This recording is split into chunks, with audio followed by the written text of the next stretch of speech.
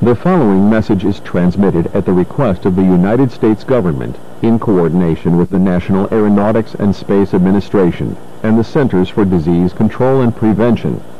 Please give your full attention to this broadcast as this contains crucial information that could help save your life. Throughout the last few hours, the blood moon phenomenon and the novel BLOD23 virus have rapidly spread across the entire continental United States and is spreading at an accelerated rate.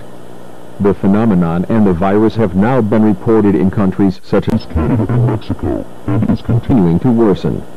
Over 100 million instances of the phenomenon have been reported all across the United States, with at least 50 million cases of the virus being reported, with around 35 million infected transforming into the creatures that have been ravaging numerous cities across the country.